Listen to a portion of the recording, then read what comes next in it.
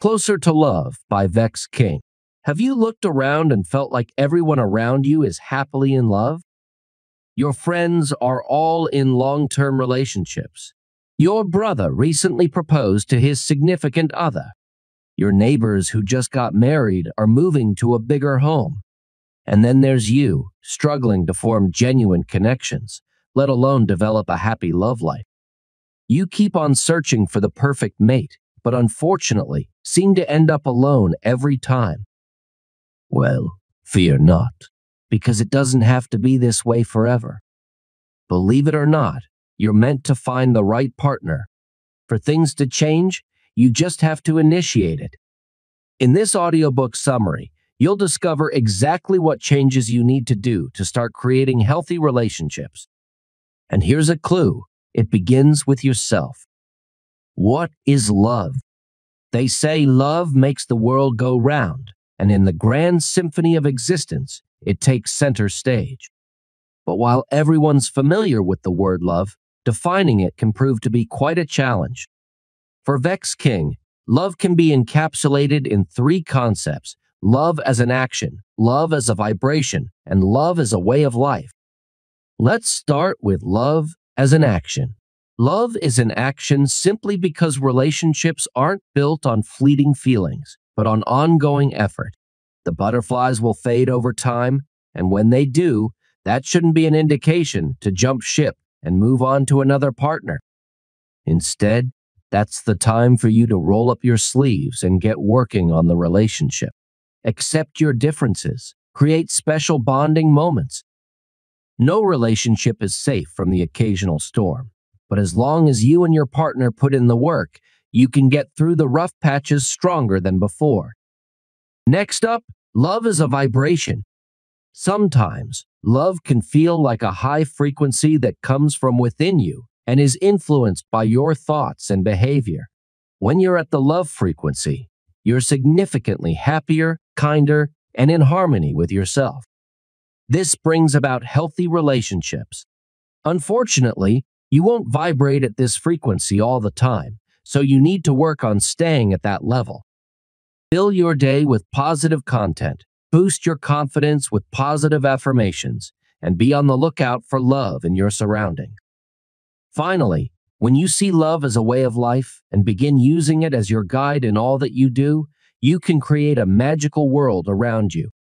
Start with accepting others for who they are, looking for their best sides, if you always act from your heart, you can never go wrong.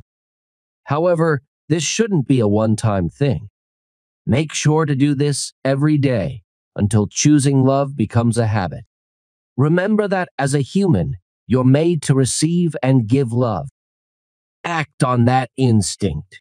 Building deep connections with others starts with connecting with yourself. You can't give what you don't have, so you can't begin to form meaningful connections when you have yet to establish a true connection with yourself. That's why, if you want to experience love in its most authentic form, it's vital to embark on a journey of self discovery and self love first. When you cultivate love in yourself instead of searching for it in other people, relationships will be easier to handle. That's because you'll have a secure sense of individuality you'll be able to connect better and attract the right kind of partner for you. But how do you love yourself? Well, it starts with knowing yourself. If you're not sure who you are yet, ask yourself guide questions like what are you looking for in a relationship? What can you offer your partner? Mm, uh, how do you deal with rejection and criticism? These questions can help you understand what makes you tick and what makes you unique. If you can't answer them off the top of your head, it helps to evaluate your past and current relationships. They can give you an inside look at what works well for you and what doesn't. Knowing yourself means identifying your boundaries, too. Your boundaries are what protect your sense of identity, and without them, you can end up losing yourself in the relationship. Once you lose sight of who you are, you also lose the chance of forming genuine connections with your partner. So make sure you know how to draw the line to give yourself the space you need to thrive. Apart from knowing yourself, self love calls for growing closer to yourself as well. There are a variety of ways to do this. You can start a journal where you express and reflect on your inner feelings. Hobbies also help you to feel closer to your passions and interests. And don't forget the value of self care either, whether that's physical, mental, or spiritual. By tending to your needs, you'll be better equipped to build healthy relationships with others. Work on yourself before entering a relationship. When Rory's parents separated, things started changing for him. He was constantly left alone, moving houses all the time, and didn't have as much stability as before. This put a significant toll on him and how he viewed love. Before he knew it, he was jumping from one girlfriend to the next and struggled to express his emotions openly. In many different ways, we are all similar to Rory. Our parents may not have separated, but we still carry a past that molded us into who we are now. We are made up of our upbringing, cultural beliefs, gained knowledge, traumas, and hoarded pain from past relationships. In some shape or form, your past can negatively impact how you build relationships. You may not be able to foster the growth of a connection or even form one at all. You may also be feeling insecure, unworthy, and afraid of being rejected or showing weakness. However, just because your approach to relationship building is skewed doesn't mean you're bound to be alone forever.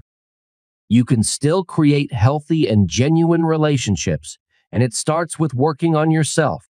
So before getting into a new relationship, make sure you get rid of any unwanted emotional baggage first. This includes unhealthy expectations your new partner needs to fulfill assumptions that your new relationship will end up badly like the last one, and negative emotions like anger and resentment. Practice drawing the cutoff line, the point where your past ends and your present begins. It's at this cutoff line that you leave behind the things you don't want to carry into your present and future. When you don't bring this unhelpful stuff into your new relationship, it will have a better chance to thrive. It also helps to work on breaking free from damaging attachment styles. These attachment styles were formed from your relationship with your early childhood caregiver, and unfortunately, they are typically detrimental to your current relationships. To unshackle yourself from their hold, you need to be compassionate with yourself. Voice out your emotions instead of tucking them away. Tune into your needs and accommodate them as much as you can when you can change your destructive behavior. Lastly, make it a habit to do an assessment after every breakup. Look back at the relationship and note how you contributed to its downfall and how you can do better next time. However, don't just dwell on the past. The period after heartbreak is also the best time to prioritize self love and happiness. Focus on your sources of joy. May that be in old hobbies or friends. Leave no room for misery and know that the right relationship will find its way to you eventually. Follow these 10 rules when in a relationship. Relationships are so complex that you can't just jump into one blindly. Just as a ship needs navigation equipment to reach its destination, you and your partner need relationship rules to increase your chances of success.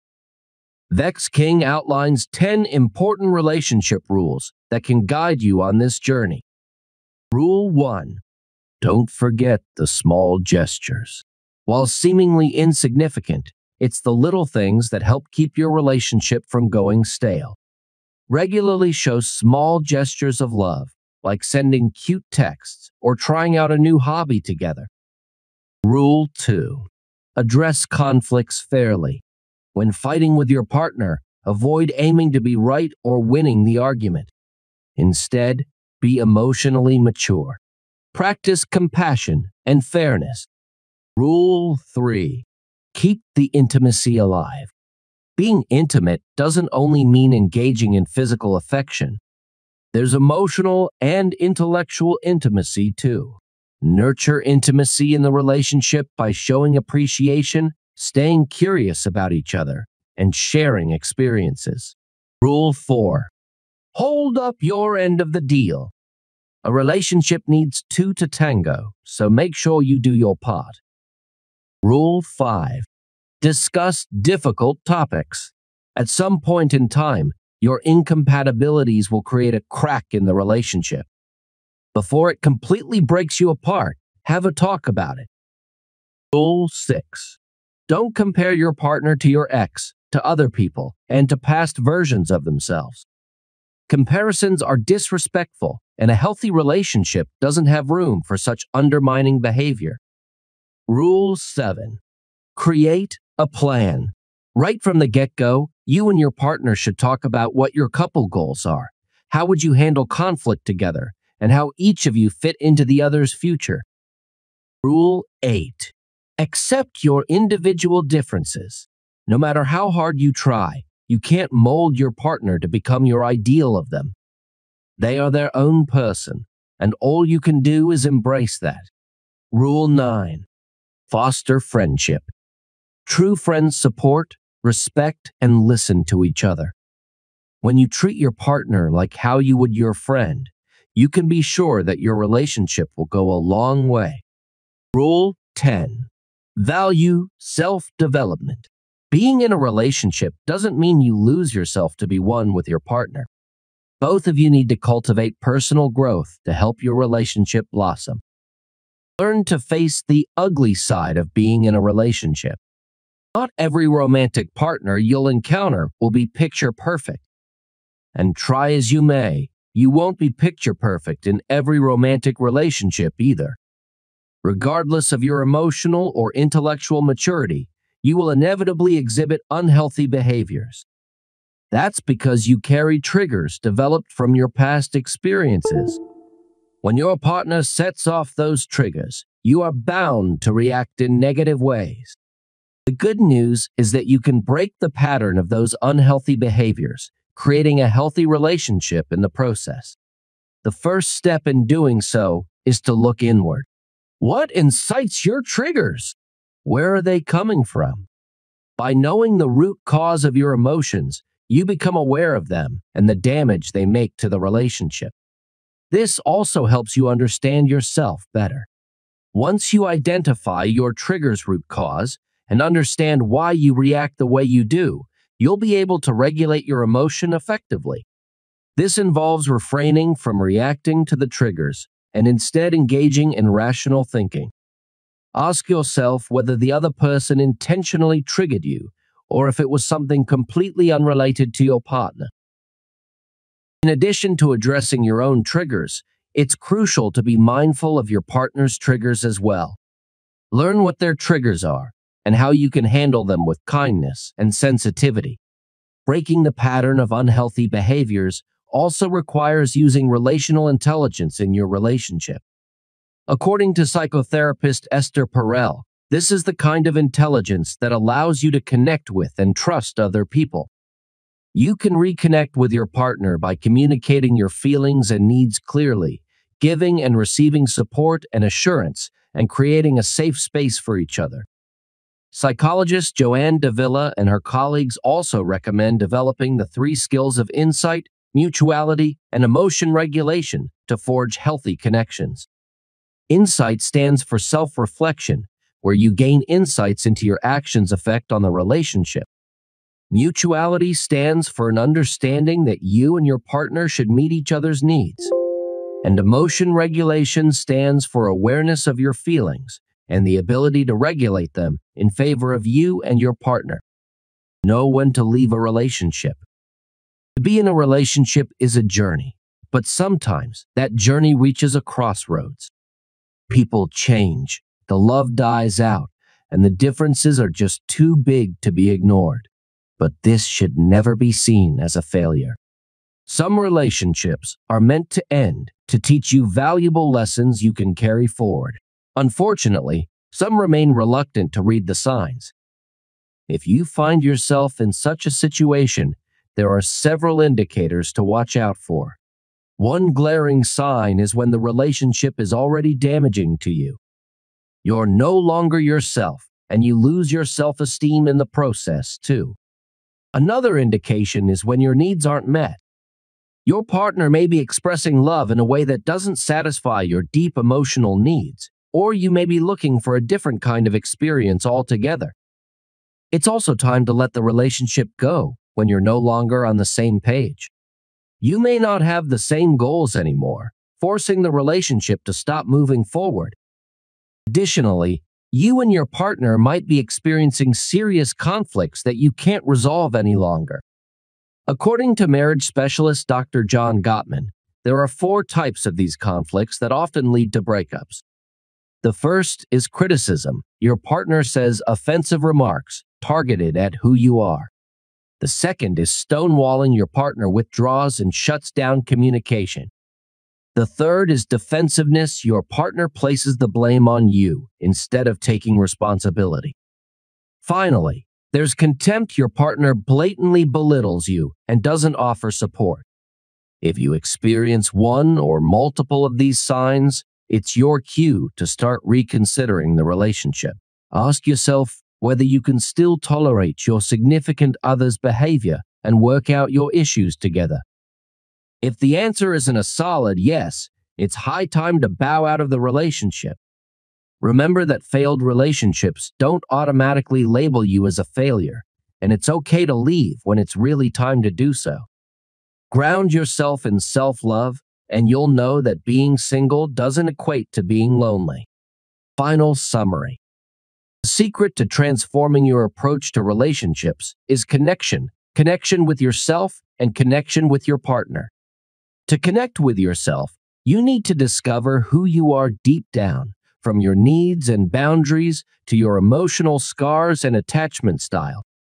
Only when you connect and work on yourself will you be able to form genuine relationships. Once you get into a relationship, you then need to dedicate yourself to connecting with your partner. Learn how to handle their triggers, keep the love burning, and manage conflicts that come your way. Relationships demand ongoing effort, and they will only thrive when you give them consistent care and cultivation.